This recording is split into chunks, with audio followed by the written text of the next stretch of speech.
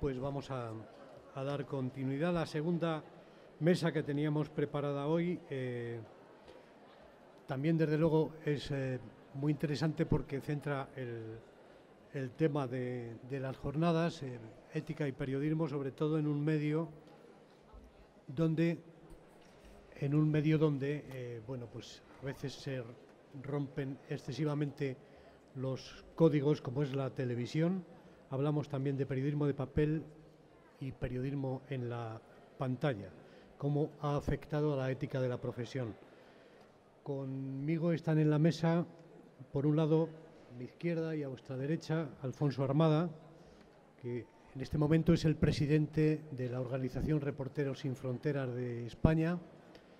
Él también ha dirigido el máster de periodismo de ABC y hasta no hace mucho tiempo, hasta no hace muchos meses, ha estado eh, como adjunto al director de, o director adjunto, o adjunto a la dirección, en fin, ha trabajado en ABC, también trabajó en El País y tiene un punto en común con nuestro otro invitado, con Bruce Rovira, que es un periodista, en este momento diríamos freelance, periodista autónomo, eh, especializado en temas sociales e internacional, eh, que entre otros eh, medios colabora en este momento con el programa Vivir, que son dos días de la cadena SER, que dirige y presenta Javier del Pino, pero decía que tenían Alfonso Armada y Bruce Rovira un punto en común. Ambos han sido corresponsales para África.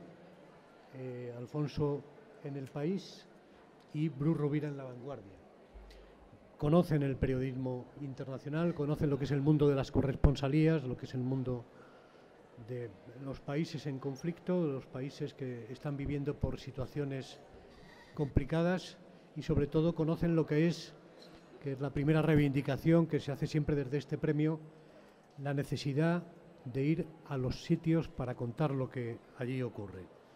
Ellos van a intervenir durante unos minutos al principio, pues, hablando sobre el tema de la, el título de su ponencia.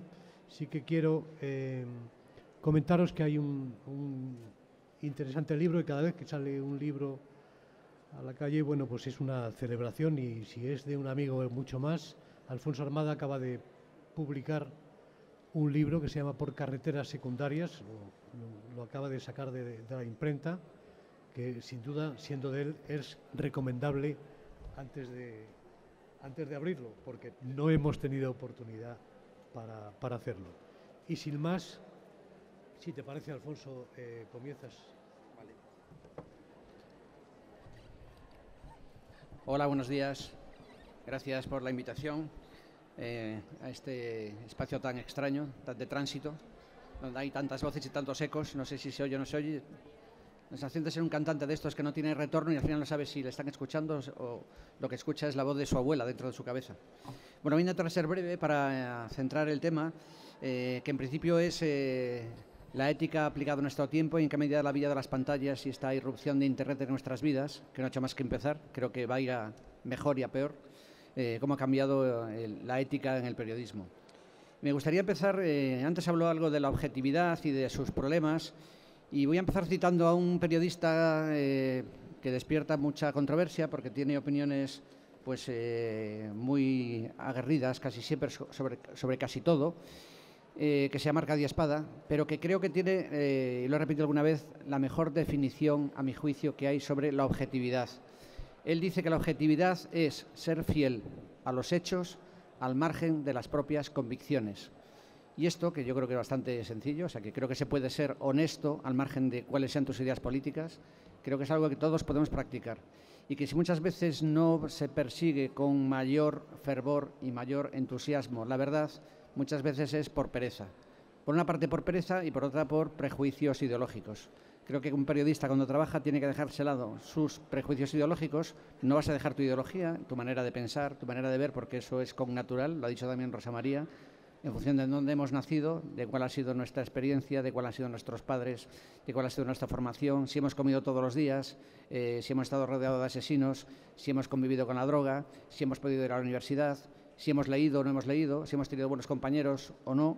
es al final configura una visión del mundo y eso es nuestra forma de estar en el mundo. Podemos tener más inclinación hacia las víctimas o nos gusta más el mundo de lujo. Pero creo que a la hora de ser informadores tenemos que dejar nuestros prejuicios y tratar de acercarnos a la verdad y no reparar en gastos a la hora de conseguirlo. Eh, acaba de salir un libro, y voy a aprovechar para hacer propaganda de, de él, que se llama Verificación Digital para Periodistas, Manual contra Bulos y Desinformación Internacional, de Miriam Redondo. Acaba de salir y ya desde el principio me parece tan útil.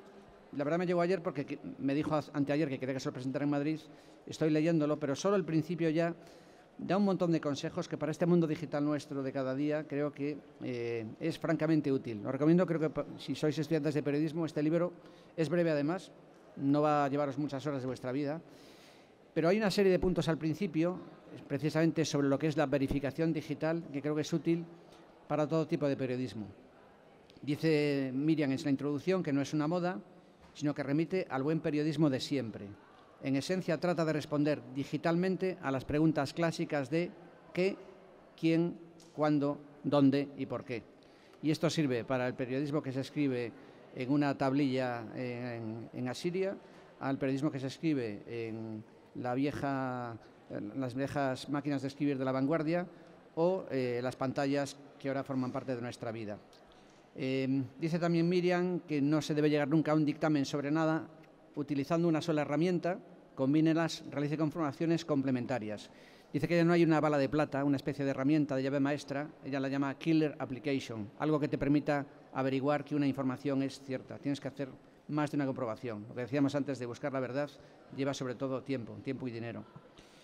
Dice también que los protocolos y técnicas eh, que se usan en este libro no son, son más importantes que las herramientas. Eh, por otra parte, eh, una especie de norma que creo que todos debemos aplicar, ser permanentemente escépticos, dudar constantemente. Ella dice con una broma, que no está broma, dice, si tu madre te dice que te quiere, verifícalo. O sea que conviene comprobar hasta cuando das por supuestos cosas que parecen que son incuestionables, como que tu madre te quiera, cosa que no siempre es cierto. Sé transparente, informa sobre el estado y los pasos de tus investigaciones. Una cosa fundamental tampoco que no se practica demasiado en España. Si te equivocas, reconócelo inmediatamente, sin dilación. El New York Times todos los días tiene casi un recuadro con todos los errores cometidos el día anterior. En España a muchos medios y a muchos periodistas les cuesta mucho reconocer que se han equivocado y al final complican las cosas muchísimo más. Eh, otra cosa importante, eh, que tiene mucho que ver también con parte del problema en que nos vemos inmersos hoy día, que es la velocidad, la prisa, esta especie de obsesión de los medios por ser los primeros y por contaminar y eh, comunicar eh, la información lo antes posible al margen de que sea cierta o no. Y eso es lo que ha llevado a muchos medios a la perversión absoluta y a la pérdida de su reputación. Dice ya, eh, los, muchos procesos de verificación son incompatibles con las prisas de una redacción. al menos sabrá qué pasos dar prioritariamente. Por otra parte, eh, eh, invita a practicar la verificación y después, por último, dice algo que tiene que ver con el periodismo digital y con todos los periodismos. Si está leyendo esto, es que dispone de la primera cualidad necesaria para ser un buen verificador, la curiosidad, que evidentemente es una condición necesaria para ser periodista. Y otras, la importancia de la atención al detalle, la organización, la persistencia, la creatividad. Es decir, condiciones que son necesarias para ser periodista. Por último, no quiero enredarme demasiado, eh, quiero aprovechar también para recordar un poco lo que en la revista digital Frontera D tenemos unas normas, eh, un libro de estilo súper breve, unas normas deontológicas breves, que creo que son útiles también para todo tipo de periódicos y para todo tipo de prácticas periodísticas.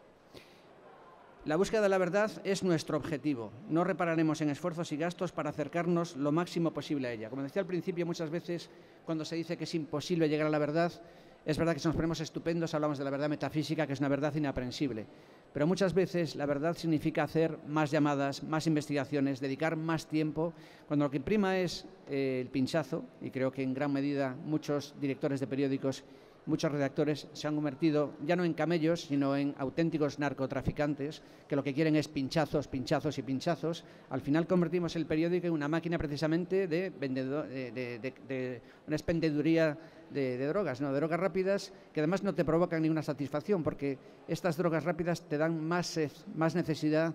al final estás en una pérdida constante. Creo que eh, volver a reposar eh, cambiar de ritmo, tener menos prisa. Habría que cambiar un poco la mentalidad de muchos redactores, jefes y redactores.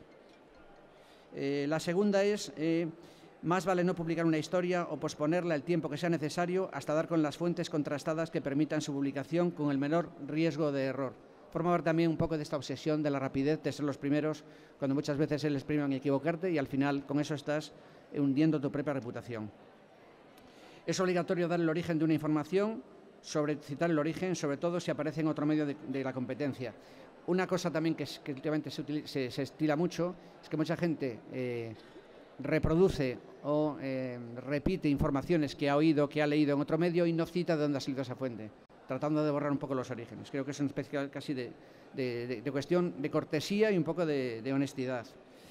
El respeto a la inteligencia del lector y el estímulo de su curiosidad presidirán nuestra forma de trabajar. Creo que también en muchos medios eh, se trata al lector como si fueran retrasados mentales, lo cual a veces, muchas veces lo que da a entender es el grado de retraso mental del propio redactor jefe o del propio director. Tratar al, público como si fueran idiotas. Creo que también es uno de los rasgos que también han contribuido a la degradación de nuestro panorama informativo. Buscar la elegancia y la excelencia y evitar la difamación, el insulto, el chascarrillo, la gracieta y la arbitrariedad han de ser normas de uso. Esta búsqueda de la excelencia y la búsqueda de la elegancia también forma parte un poco del amor a la propia palabra. ¿no? Eh, si degradamos el lenguaje, degradamos a fin de cuentas la realidad. Creo que una coma, un adjetivo, la forma de escribir, al fin de cuentas forma parte de la naturaleza, del relato, de la realidad. Por eso, si no leéis y no leéis de forma compulsiva y de forma constante hasta el último día de vuestras vidas, creo que habéis equivocado de profesión y este no es vuestro lugar. O sea que o leéis o dedicaros a otra cosa. Y, y perdón que sea, sea un poco tan, tan expeditivo. Eh, y voy a abreviar porque quiero dejarle ya lugar a, Bruno, no me quiero enrollar demasiado. Pero bueno, eh, si queréis ver las normas de estilo, la deontología de Frontera D está en la página, está donde pone quiénes somos. Son la verdad que 12 puntos muy breves. Eh, dos, solo dos, dos, dos detalles más. La revista The Economist, todos los años, la revista The Economist que tiene como norma no publicar nunca sus informaciones el nombre del que la escribe, es una revista que parece hecha anónima, es una especie como de lucha contra la vanidad que forma parte inherente a nuestra condición de periodistas, ellos no ponen nunca los nombres de, los, de las informaciones firmadas. Todos los años en el número extra de Navidad eh, publican qué hacemos cuando no estamos en la redacción y hacen una lista de los libros publicados por los miembros de la redacción de la revista, porque piensan que no tienen suficiente rigor para hacer críticas de sus propios libros. En España es todo lo contrario. En general, los medios, cuando el director del periódico sale a la televisión, da una conferencia, al día siguiente, pues todos son eh, zambombas y, en fin, y elogios de lo bien que habla nuestro director. Y cuando un colaborador o un miembro de la redacción publica un libro, también eh, los propios compañeros o críticos amigos hacen la crítica.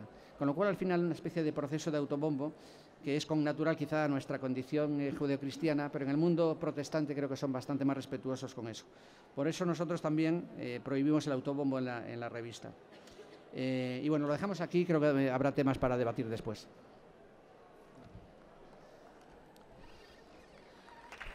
funciona, ¿no? Hola, eh, buenos días, gracias por la invitación. Veo que los adoquines han entrado a la universidad, ¿no? pero para ser integrados, no como en el mayo del 68. ¿no? Esta forman parte de la estructura.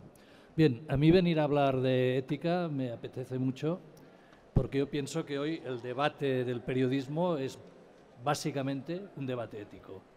O sea, sobre la bondad, el bien público, en fin, un debate también filosófico. ¿no? Eh, yo soy de una generación que nacimos, bueno, de la época de Franco, es decir, pienso que cada época tiene unos retos en esto que Alfonso llamaba la búsqueda de la verdad, que es el periodismo. El periodismo es, una, tiene, es la voluntad de intentar fijar los hechos, las, las cosas que ocurren, esta búsqueda de la verdad del periodismo en cada época es distinta y en mi época era, había censura, había un tipo de dificultades. Hoy pienso que tenemos que reflexionar sobre las nuevas dificultades que se presentan. Uh, yo pienso que hay unos cambios que se han producido con una enorme velocidad y que no nos estamos ocupando de un modo ético o reflexivo sobre ellos. ¿no? Recuerdo cuando la Calafio ya empezábamos a dar charlas sobre la crisis del periodismo, El, hace no muchos años, 10 años, se veían dos elementos como muy frágiles. Uno era la, penetración de las empresas en los medios, la pérdida de la independencia. ¿no? Eran básicamente, decíamos, coño, pero si se está entrando, eh, el periodismo se está convirtiendo en un producto comercial, hay una influencia excesiva de las empresas y el periodista está perdiendo esta centralidad de su, o sea, su independencia, que es la única manera de, trabajar. ¿no? Eh, este desplazamiento de la independencia y eh, también desplazó la idea de que el periodista es un, servicio público, es un trabajo de información al servicio de una sociedad que si es democrática necesita de la información para que la gente tenga su propia opinión sobre las cosas que ocurren. ¿no? Este es el, de, manera que el periodismo es, es incomprensible si no se entiende como un servicio de eh, información a la sociedad. Hoy, curiosamente, en esta olla de las dificultades, en muy pocos años, tenemos, no tenemos censura, pero estamos debatiendo una censura a la que llamamos exceso de información sin jerarquías. O sea, hay una cantidad enorme de información que no sabemos cómo gestionar, pero no hay censura. O sea, cualquier persona que haga el ejercicio de informarse llega yo diría hoy es casi imposible no llegar al nudo eh, de las cosas que ocurren, por ejemplo, temas de corrupción, ya lo veis, ¿no? Se quiere tapar, tapar, pero acaba saliendo y al final nos encontramos que hay un conocimiento de lo que ocurre. Lo que pasa es que el espectáculo que se ha montado alrededor es tan enorme que nos distrae de la concentración de lo que diríamos de dilucidar lo que sería realmente el problema. ¿eh?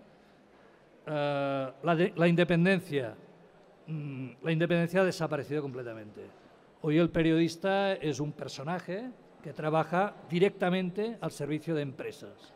Y la intervención pública sobre las empresas que se hace desde la política es una, una, presencia tan fuerte o más que en la época que los medios eran privados, yo trabajaba en la vanguardia y había también una presencia de la política, de los poderes o de la censura. ¿no?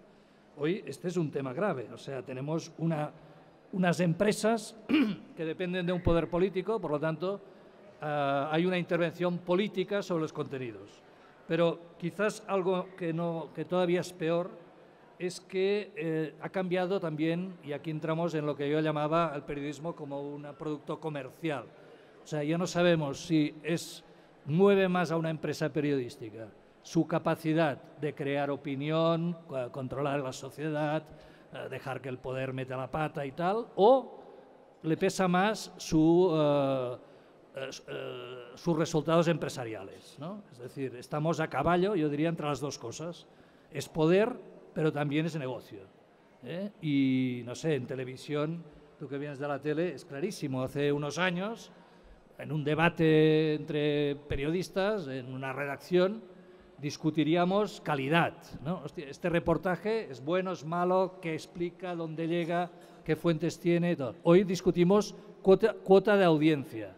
Es decir, ya no discutimos calidad, no discutimos periodismo, no discutimos necesidad, bien público, curiosidad, etcétera, etcétera, sino que estamos discutiendo cuota de audiencia. ¿Cuota de audiencia qué es? Impacto, eh, ventas, etcétera es un daño, o sea, lo que está ocurriendo en periodismo no es un mal del periodismo, es un mal de la propia sociedad que ha decidido que sus valores son los valores del mercado. Esto está pasando también en la cultura, en todos los ámbitos. O sea, todos los ámbitos creativos, todos los ámbitos eh, eh, intelectuales que sirven para que una persona se construya como individuo, sea con la formación, con la lectura, con la cultura, etcétera, hoy están en manos de unos valores que son absolutamente aculturales. Son simplemente de distracción, comerciales y, lo peor todavía, que en esta degradación de los contenidos cada vez es más fácil dirigir la opinión pública, es decir, la manipulación. Eh, quiero hacer una segunda parte, luego hablamos tú y yo, porque curiosamente, que es difícil, ¿eh? encontrarse con un colega que escribe, que ya nos tendrían que hacer un monumento porque queda muy poca gente que utilice la escritura para comunicarse en periodismo. ¿no?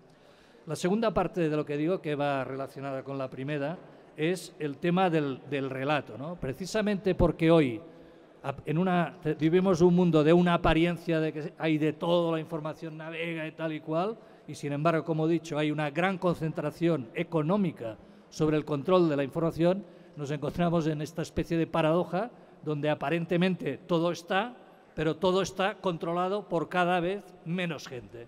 O sea, tenemos cada vez una concentración monopolística más importante del relato. Y esto entramos en un tema muy importante que es el poder. O sea, hoy el periodismo, el debate del periodismo es un debate ético, como luego debatiremos, pero en, la ética, claro, evidentemente hay que tomar la decisión sobre cuál es nuestro trabajo y qué pretendemos hacer. Este es el debate ético. Somos un bien público, estamos obligados a, hacer ganar dinero a las empresas o a explicar las cosas que ocurren, eh, cómo, eh, cómo nos relacionamos con el mundo global, quiénes somos, por qué somos periodistas, ¿no? qué buscamos, lucimiento, buscamos conocimiento, etcétera, ¿no? Es el debate ético. Pero el debate del poder, que a mí creo que está muy olvidado, me parece muy importante, porque hoy con todo el sistema, las redes y tal, dan una apariencia a la sociedad de que realmente eh, estamos conectados, ¿no? Ah, ¿Estamos conectados a qué? Al final descubrimos, como pasó con Trump, ¿no? que la mitad de los progres de Europa y de América se pensaban que sabían no sabían nada, porque había una sociedad que se comunicaba por la autopista del lado. ¿no? Yo pienso que esto es realmente lo que está pasando en todo el mundo, que los relatos en este momento están totalmente en manos del poder, pero no de la observación de las cosas que ocurren. Eh, hay una escritora que a mí me gusta mucho, Chamanda Adichie, esta nigeriana, que habla mucho de la historia única, ¿eh? de que ella es una mujer, tú la has leído, que es muy interesante, que ella empezó a leer libros cuando era una niña en Nigeria, y se pensaba que en los cuentos y tal solo había blancos y rubios y la caperucita roja y tal, ¿no? Hasta que descubrió que hay un relato africano también, ¿no? El, Chihuahua Cheve, que este sí que lo deberíais leer, este decía que hasta mientras los leones, esta es la frase, no tengan a sus propios historiadores, los relatos de caza siempre será glorificar al cazador. ¿Eh? Esto, es lo, esto me parece muy importante. En el mundo, en el mundo de hoy tenemos, es un mundo que también paradójicamente es un mundo de encuentros de gente muy distinta en un mismo espacio, cosa que no había ocurrido antes. Antes éramos viajeros que íbamos a descubrir mundos distintos que vivían de formas distintas, con normas distintas.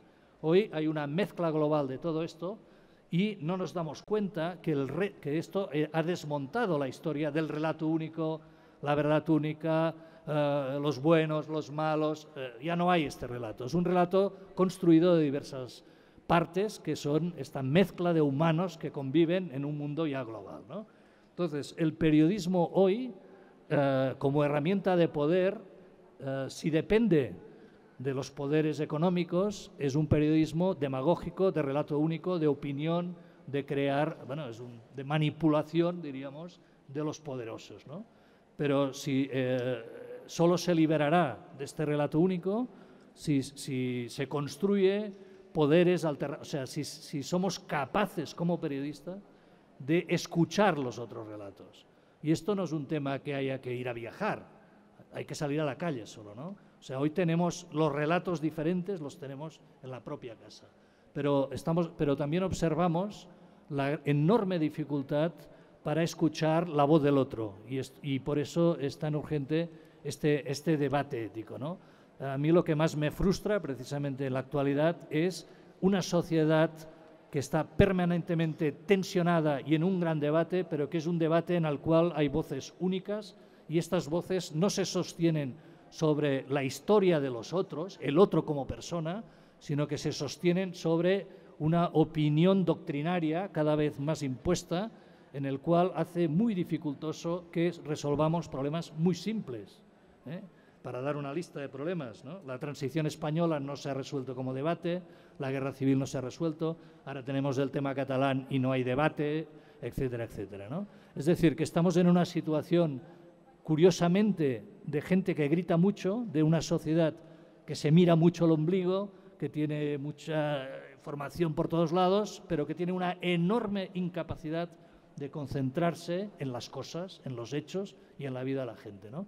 Y por eso yo cada día me he vuelto más cura, ¿no? parezco un moralista, pero yo pienso que eh, solo hay una solución, que es tener, cambiar la actitud y tener una actitud de buena fe, y pienso que la buena fe hay que imponerla, una cierta la actitud de bondad, medir el, lo, cuando hacemos una cosa a quién favorece, la idea del bien público, etcétera, etcétera. ¿no? Porque en las universidades o incluso en el oficio siempre estamos que si la objetividad, que si no sé qué, que si no sé cuántos. Pero creo que el debate es muy sencillo, ¿no? ¿Quién coño soy? ¿Por qué hago lo que hago? Eh, ¿Por qué lo hacemos? ¿Cómo lo hacemos? Y discutamos con criterios de buena fe, no de mala fe, ¿eh? las cosas que decidimos. ¿no? Por ejemplo, un titular de portada, etcétera, etcétera. Discutámoslos con criterio periodístico y con la buena fe de que somos una herramienta al servicio de que la sociedad pueda decidir por ella misma cómo eh, se gestiona. Esta obsesión por dirigir a la sociedad desde el periodismo es no solo la muerte del periodismo, sino es una sumisión absoluta a poderes que son manipuladores y cada vez más dictatoriales. Uh, me gustaría hablar contigo luego, que, uh, con, como debate contigo, porque yo pienso que también a veces no hablamos de, uh, de los contenidos y de la belleza que puede tener el periodismo. Yo pienso que los que escribimos, sobre todo, deberíamos recuperar, ahora que ha muerto Tom Wolfe, además, la seducción del, no solo, siempre estamos la verdad, lo no sé qué, no. Somos una sociedad imperfecta y también en el debate de la ética tendría que haber el debate de la belleza, de lo profesional, de las cosas bien escritas. ¿no? Estamos, eh, parece mentira la degradación de los textos, de las estructuras gramaticales, del pensamiento, porque el pensamiento escrito está en la forma también, y yo pienso que este es un camino que nunca debatimos, pero que es básico, es cuando se hace televisión, que haya belleza en las imágenes, ¿no? Eh, etcétera. ¿no? Y es un debate de contenidos también, no solo es un debate de ideas, también es el contenido en sí mismo, la belleza, es una forma de ética y de compromiso con la sociedad. ¿no? Sí, yo nada más, eh, ahora te voy, a volver a dar la palabra para que eh, mantengáis esta conversación, pero sí que me gustaría eh, dejar una pregunta en, el aire por si, la, por si acaso podéis contestarla a, lo largo del diálogo. Eh, tenemos una sociedad que posiblemente la estén eh, timando con, el timo de la estampita respecto a las noticias falsas y está cayendo en, en, en esas trampas constantemente. El periodismo eh, hace mucha autocrítica, te acabamos de escuchar, eh, y bueno, por un lado, la sociedad cae en todo el tema de las noticias falsas y por otro lado está huyendo de los medios de comunicación huyendo de, de, los medios de comunicación. ¿No creéis que además de la autocrítica, por supuesto, y de, y de, y de tratar de corregir lo que, no, eh, lo que no esté bien, habría que también potenciar en cierta manera, por un lado, el papel que realiza el periodista honesto y el medio honesto, y por otro lado, incidir en la alfabetización de la sociedad en cuanto a que no se crea todo? Y ya os dejo con la conversación. Sí, sí quiero, sí quiero, decir algo, pero no sé qué decir, porque, bueno, es que has tocado, has tocado el, el, el, vamos, el eje de bóveda de donde estamos, ¿no? Eh, tenemos una crisis evidente.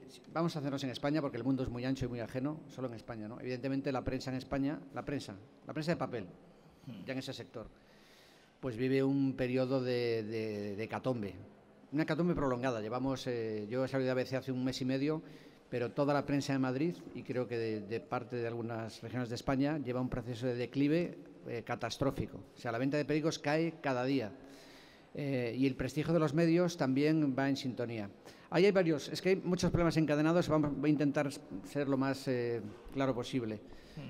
Creo que los medios llevamos suicidándonos 10 años, por lo menos, ¿no? suicidándonos con entusiasmo. Eh, por una parte somos heroinómanos, nos encanta el pinchazo, y por otra parte nos suicidamos, porque regalamos en Internet lo que vendemos en los kioscos. Y esto que es una obviedad, pero seguimos haciéndolo. O sea, que los periódicos siguen regalando cada día lo que venden en los kioscos.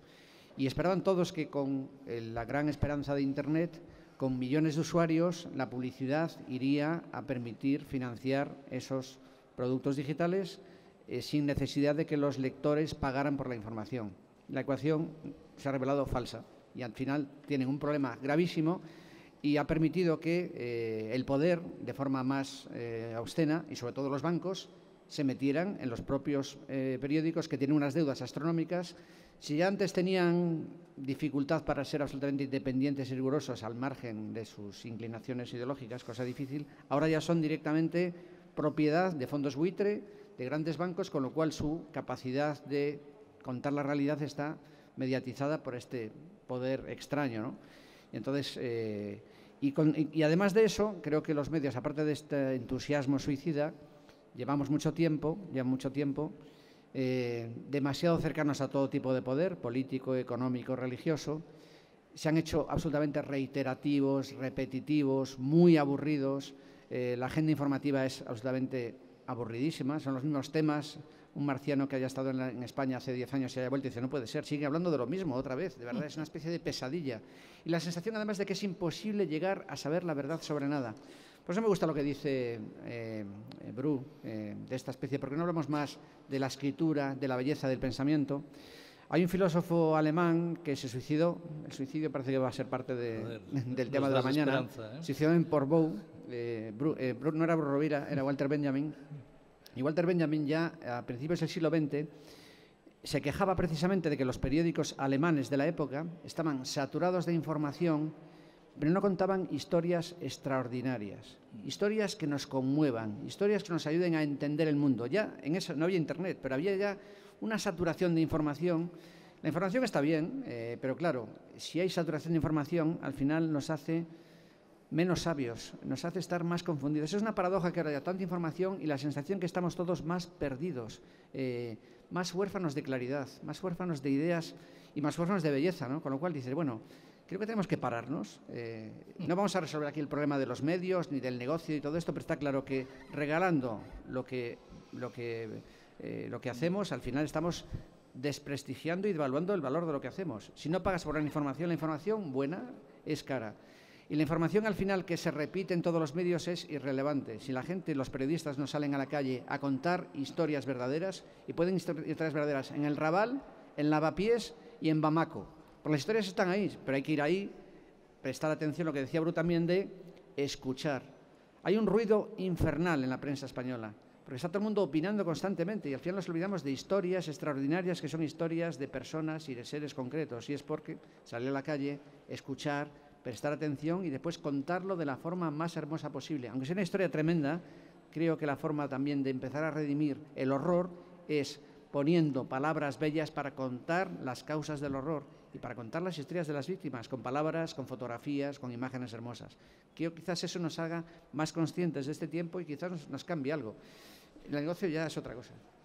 Sí, sí. Yo estaba pensando ahora eh, qué es lo que me gustaba a mí cuando empecé de este oficio y hay dos, dos cosas que me gustaban.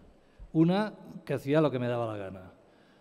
O sea, era un tipo libre, era muy indomable, peor que la Calaf, o como, no, peor que la Calaf, imposible, pero era indomable y hacía mi vida, y tú igual, nos íbamos de viaje, ¿eh? Em, bueno, disfrutábamos, ¿no? porque yo pienso que esta vida está para nosotros, los, yo me he hecho periodista para disfrutar, ¿eh? no para cambiar el mundo. Después me he comprometido con el mundo y he visto que tenía que tener una posición en el mundo. Pero de entrada me he hecho periodista por una cosa que a mí me gusta, una expresión que no sé, Jerry, este que hizo el, viaje exploratorio al Polo Sur, que decía que, el, la, que, el, que la exploración es la expresión física de una pasión intelectual. ¿no? Y esto lo aplico al periodismo. Nosotros tenemos una pasión intelectual y al salir a la calle tenemos la expresión física de esta expresión, por eso hemos viajado, ¿no? Para conocer el mundo, cómo era todo esto.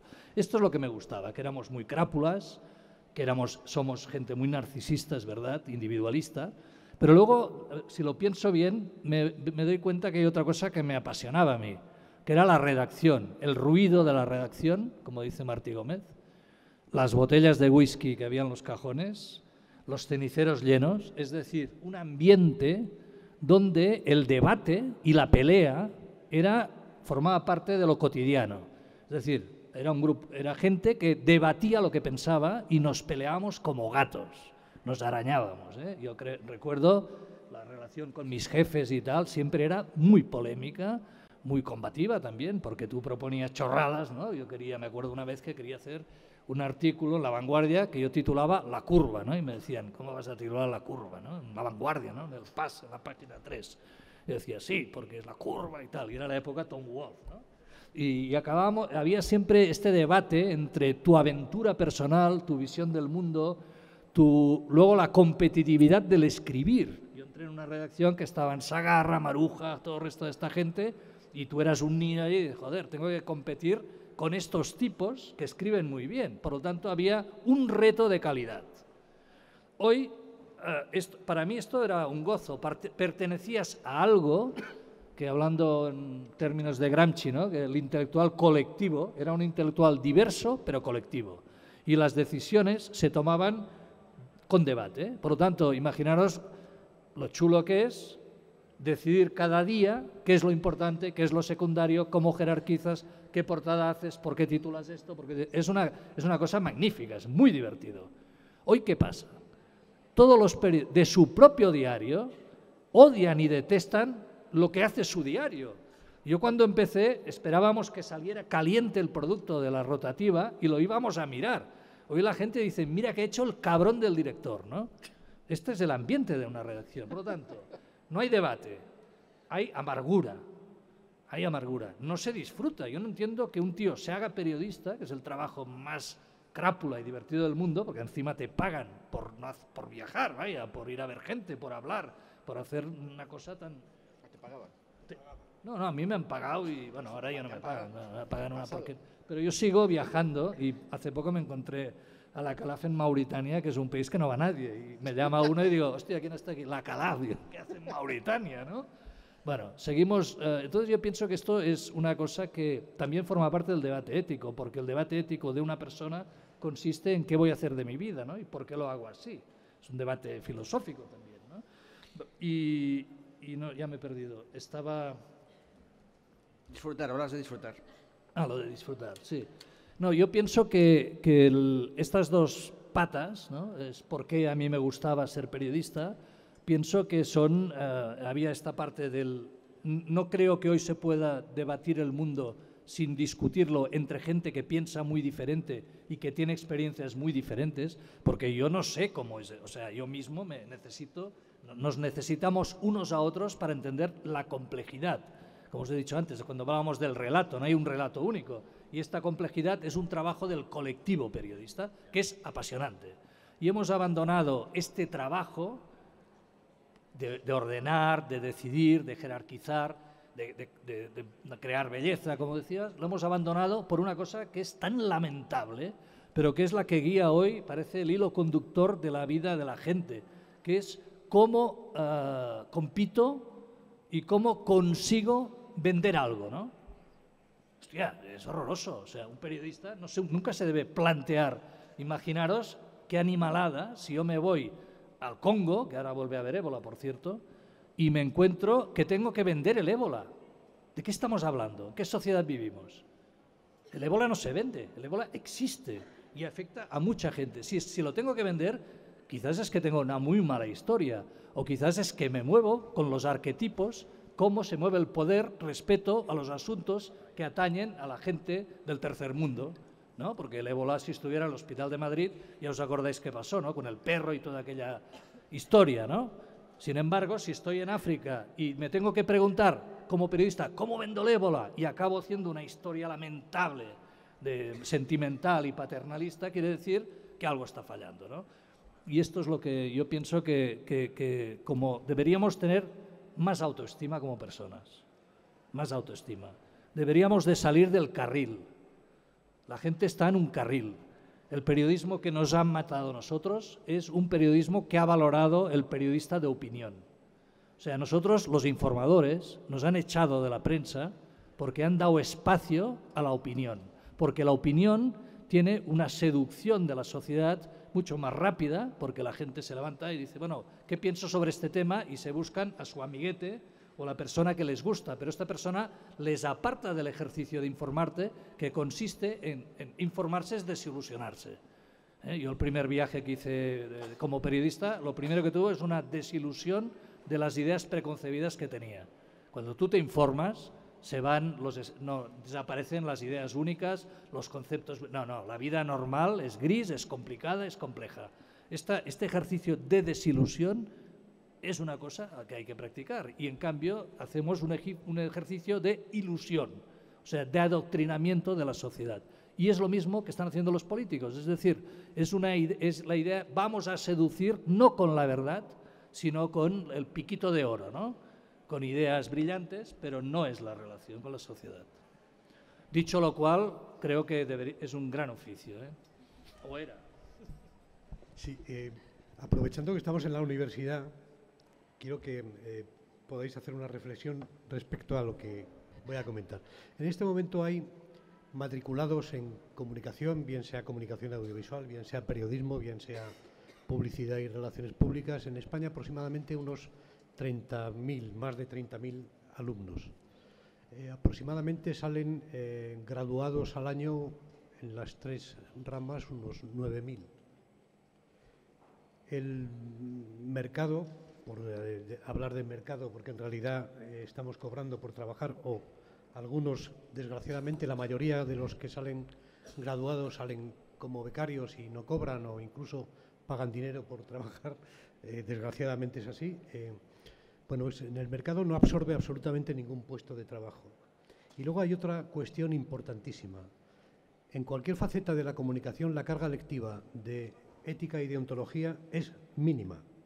Y lo venimos reivindicando desde las organizaciones profesionales para que se tenga en cuenta. Aparte de que también estamos reivindicando y eh, hablando de del papel de la sociedad en, esta cuestión, eh, que dentro de la ley de educación se introdujera, bueno, pues la desde, el punto, desde un punto de vista muy amplio la enseñanza de medios de comunicación, de ontología, ética, eh, medios digitales, todo, todo esto que nos, que nos rodea en este momento. ¿no? Bueno, te toca a ti, ¿no? Bueno, es que no sé qué decir. Si no tengo nada que decir. Tengo mucho que decir, pero no sé si tengo un pensamiento laboral al respecto. Antes habló de, la confusión general entre valor y precio. O sea, hay que, volver a leer a Antonio Machado y, distinguir una cosa de otra. Si al final lo que se está potenciando es la cantidad, eh, el precio, el dinero, eh, y al final el objetivo de la universidad eh, no es formar en sus idiomas profundo mentes críticas, sino tener tornillos o tuercas que se puedan introducir en el sistema productivo para que la máquina siga funcionando, pues bueno, eh, todo es, que, es, complicado.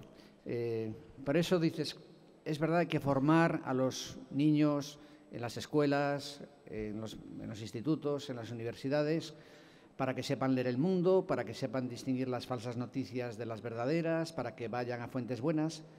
Eso tiene que ver con leer, leer de verdad, mm. leer en profundidad, aprender sintaxis, aprender el valor de las palabras. Eh, una de las cosas que más me divertían cuando trabajaba en ABC era recibir a los niños, y recuerdo a los niños de 9, 10, 11 años que preguntaban como jabatos, hacían 100 preguntas y te rompían los esquemas. Y en esa época todavía muchos días decían que leían, les encantaba leer. Cuando ya pasaban 14 y 15 años empezaban ya a ser más sabios que tú, te miraban con desprecio, no tenían ningún interés y habían dejado de leer. Creo que el problema está ahí. Creo que eh, es verdad, hay que formar en educación digital, ver el mundo, pero creo que hay que formar sobre todo en, conocimiento, en palabras, en filosofía, en historia. Y después, si manejamos bien las palabras, será mucho más difícil que nos engañen. Podemos, podemos intentar construir el mundo con palabras porque el mundo está lleno de imágenes, pero sin las palabras, las imágenes acaban disolviéndose en la nada. ¿no? Entonces es un problema de... Es verdad, hay, hay facultades y hay una, una especie de mundo universitario que forma parte de este mundo tan absurdo en el que estamos y dices, bueno, la universidad también ha perdido prestigio, estamos formando eh, en, carreras que al final no tienen una traslación en la sociedad. Eh, es verdad que hay que buscar una especie de relación entre lo que se forma y lo que la sociedad necesita, y después faltan fontaneros y faltan electricistas. Y por eso voy a dar un salto dialéctico y voy a recomendaros una película que vi anteayer en Madrid y que es posible que cuando llegue este fin de semana ya no esté en la cartelera. Se llama La fábrica de nada a Fábrica de Nada. Es una película portuguesa. Eh, en Madrid está en un solo cine, en Princesa, dos, sesiones diarias y no hay más cines, no sé si están otros cines de España.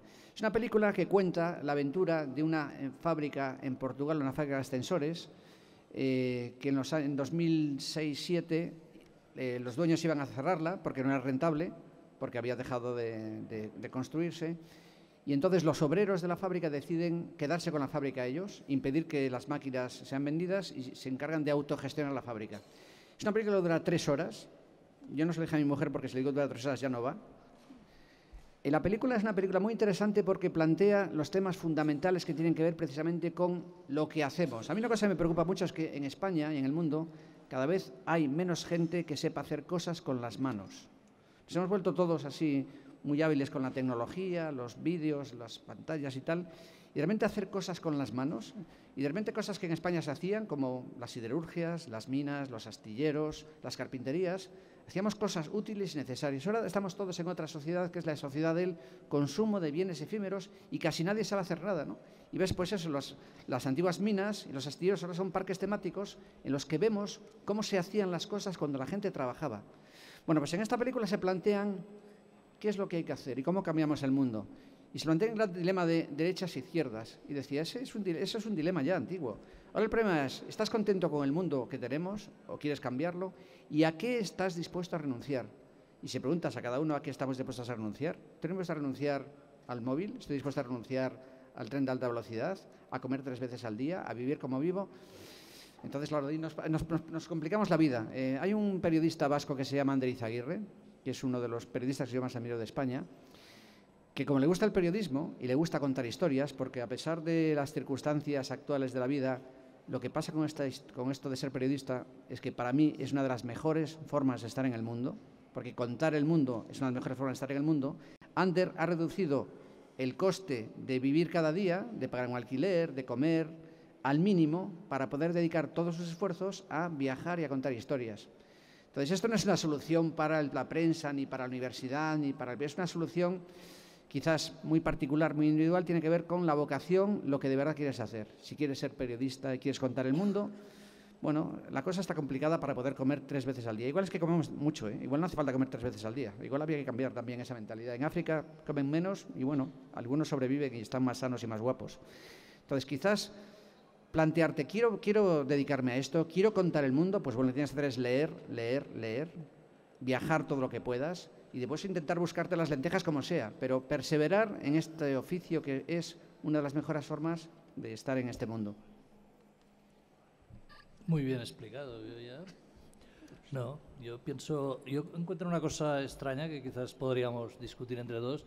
¿Cómo es que si todos estamos de acuerdo que la información es un bien público, no hay una gran batalla para que el dinero público que es nuestro lo utilizamos para hacer información? y hayamos dejado la información en manos de las empresas? Una buena pregunta, ¿no? Porque incluso la, televisión española, que es pública, eh, o sea, hemos dejado incluso que haya un excesivo control político de lo que es nuestro.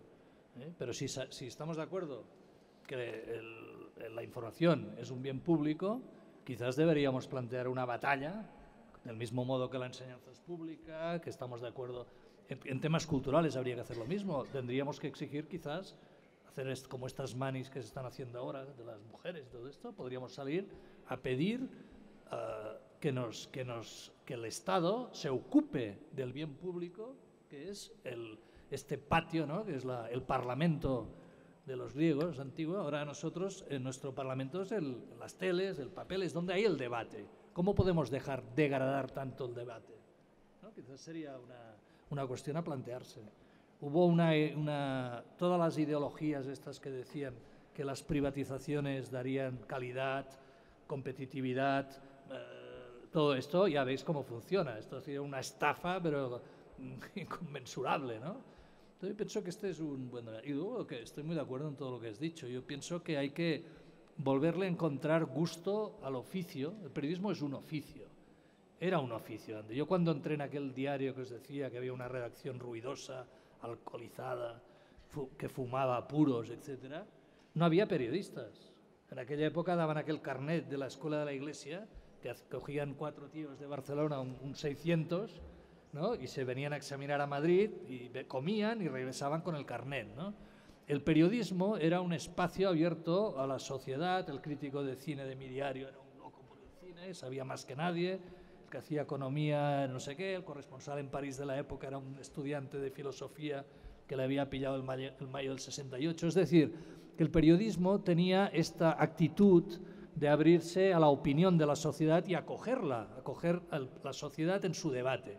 Una cosa patética, desde mi punto de vista, por ejemplo, es cómo el tertulianismo y todas estas cosas sectarias han, hecho desaparecer la opinión de la sociedad y han convertido al periodista, que como decía es, nosotros somos un puente donde tendemos la mano y circulan las cosas, vamos a este lado, al otro y ayudamos a que las cosas vayan de un lado a otro, se ha convertido en el interlocutor. O sea, hay un debate sobre enseñanza y siete periodistas debaten de la enseñanza. ¿no? Hay no hay maestros, hay un debate de ciencia, están los periodistas. Es decir, que hemos perdido eh, también el sentido del oficio, que es escuchar al otro y sobre todo darle voz. Y sobre todo, en lo que decía al principio, en una sociedad que necesitamos con urgencia, con urgencia, el relato de toda la gente nueva que estamos conviviendo. Yo no veo, ahora vengo, he estado en París unos días, es alucinante la división social. El hotel lo limpian los negros, el metro lo limpian los negros. Hostia, pero ¿eso qué es, no? Y, en cambio, cuando hablamos de París, ¿de qué hablamos? De la Torre Eiffel. Pues es que estamos en un relato único. En el restaurante, ¿quién te sirve, no? Y en cambio hablamos del, cocinero francés, bueno, y aquí igual, ¿eh? Entonces, no entiendo que, que vosotros, los periodistas, no tengáis, tenéis que entrar en, o sea, tenéis que entrar en un choque de trenes con estas eh, estructuras que impiden explicar historias. Historias muy simples, ¿eh? Como decías tú. O sea, yo pienso que al final eh, la generación mía es una generación que explicábamos pues una historia a la semana máximo, ¿no? Tampoco nos estresábamos mucho. Ahora hay gente que, que les ves que cada día hacen 14 informaciones, que hacen 12 horas delante de la pantalla. Coño, una historia necesita aire, tomarte una cerveza, eh, perder el tiempo, ¿no? O sea, es un ritmo, eh, tenemos que recuperar el ritmo de la vida, no el ritmo de las empresas, ¿no? Yo veo, y creo que es un combate para vosotros muy interesante, porque pone en la misma línea la vida y el trabajo, que es la gran reivindicación emancipadora de, las, de una sociedad y es lo que nunca ha querido patronal, diríamos, el poder, jamás querrá una sociedad que se, que se divierte, es el colmo, ¿no? O sea, nos fusilan a todos, pero este es el debate. Yo pienso que tenemos que hacer, ayudar a, o sea, tenemos que colaborar en divertirnos. ¿no? Y lo que preguntabas, bueno, decías, ¿no? Esto que hay tanta gente que estudia comunicación, se, eh, también habrá que hacer una pregunta, ¿qué es que seduce de la comunicación? ¿no? Eh, ¿Ser famoso o, o llevar? Este debate también habría yo pienso que hay un, yo soy de la provincia, tengo casa en la provincia de Gerona, ¿no? El otro día me explicaba una cosa que me quedé aterrorizado. En la provincia de Gerona hay eh, menos de un 10% de periodistas en ejercicio y más de un 90% de licenciados en periodismo en gabinetes de comunicación y en gabinetes de ayuntamientos. Fijaros la desproporción, es alucinante. O sea, uno que informa, diez que trabajan para el poder. ¿Eh? Tenemos tiempo para una pregunta. Aurelio nos ha dado tiempo para una pregunta. Que sea buena. Ya que es una, que sea buena. Tienes una responsabilidad. una bala de oro. Hola, eh, ¿creéis que el futuro de la información sería pagando? O sea, que nosotros pagáramos por una información. O sea, que ahora los periódicos como los entendemos, vale que les pagamos un poco, pero quiero decir que fuera fuera de la publicidad, fuera de lo que viene siendo el comercio y de los poderes y crear como una información libre por la que tú pagas por adquirirla. Cuando era joven y empecé a ganar dinero, recuerdo que me suscribí a una revista llamada Camp del Arpa, una revista de literatura maravillosa. Cada vez que llegaba la revista a mi casa, yo la abría con fervor y me emocionaba. Y bueno, me suscribí a más cosas. Todavía estoy suscrito a algunos periódicos, por ejemplo al Jornal de Letras, Artes e Ideas, un periódico portugués quincenal, maravilloso, que saca cosas maravillosas. ¿Y cómo yo apoyo a este periódico? Pagando la suscripción. De repente con esta idea absurda de que todo tiene que ser gratis, al final hemos creado, pues eso, medios que están pues intentando buscar la manera de sobrevivir con los bancos, con la publicidad. Creo que esa es la idea básica. Si quieres apoyar a un medio y quieres en él, la forma de apoyarlo es pues pagando por la información o, pagando por cada pinchazo o pagando pues una suscripción mensual. Y al final, el New York Times, que en esto creo que lo está haciendo bien, ha descubierto que la forma de mantenerse como periódico es, primero, invirtiendo en periodismo y contratando periodistas, los mejores periodistas que se dediquen tiempo a hacer buenas historias y después buscando suscripciones. Entonces, han cerrado la página web y tienen ahora casi 3 millones de suscriptores digitales. Y bueno, como tienen además un periodismo ahora muy crítico con la administración norteamericana, han aumentado también el número de suscriptores a la edición de papel. Pues creo que, es que no me parece que sea tanto, tan complicado. Creo que la información hay que pagar por ella. Y tenemos que, nosotros, si queremos información, tenemos que pagar por ella y defender un medio que pensemos que sale a la calle, cuenta historias que nos conciernen y que nos hacen, pues quizá, en fin, algo más inteligentes, nos ayuda a entender mejor el mundo.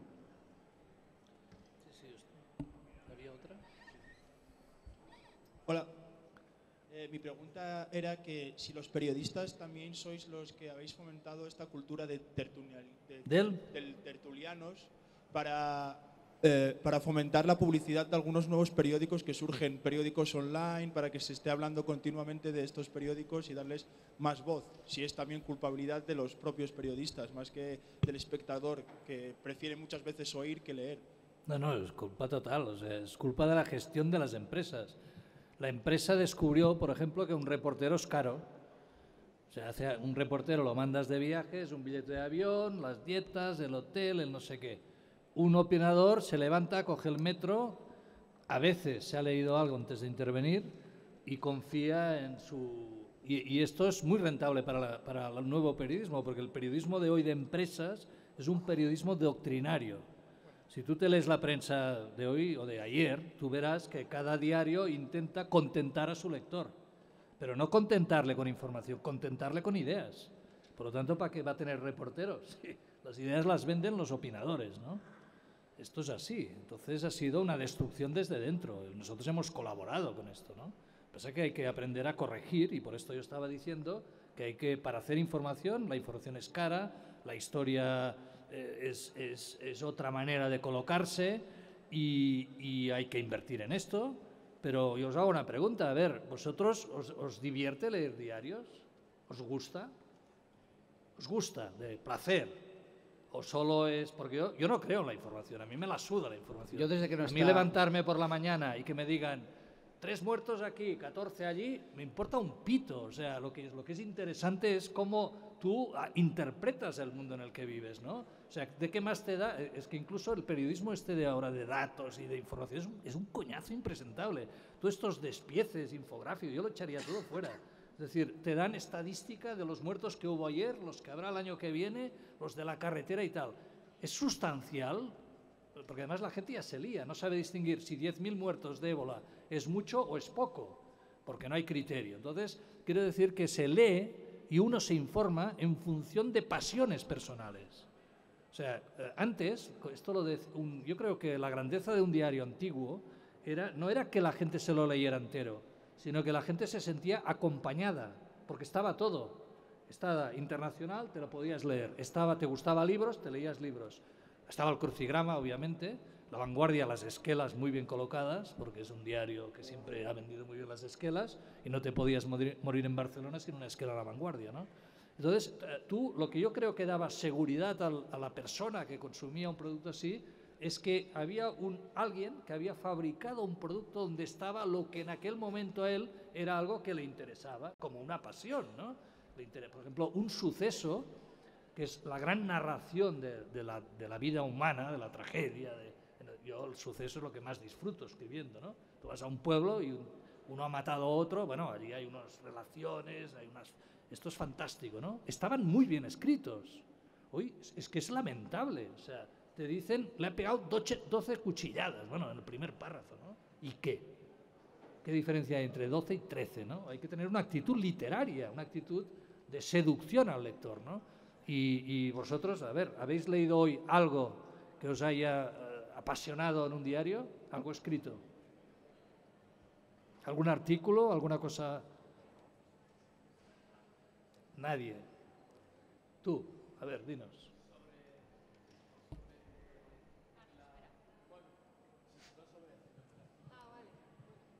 Pero coge el micrófono. Creo que era el país. ¿Crees?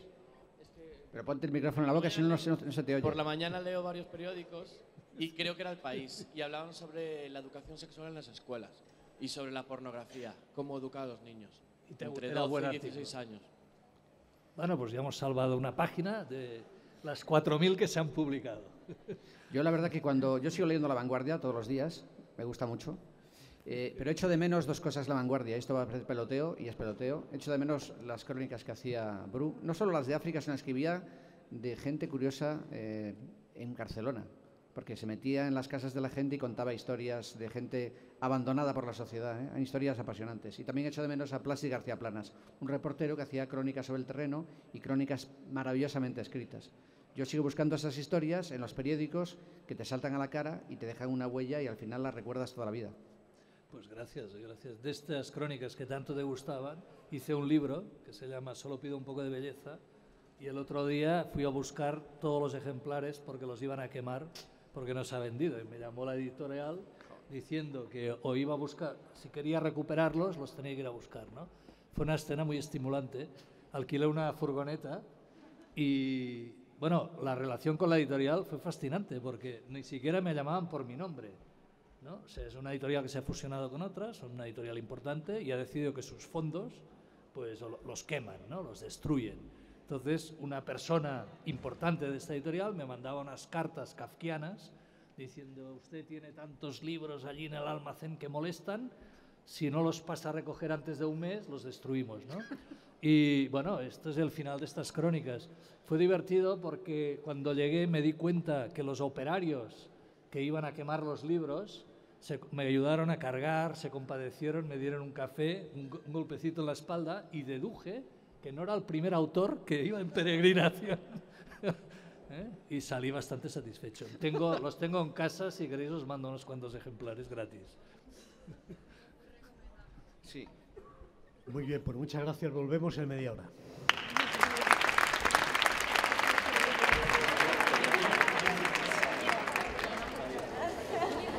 Volver.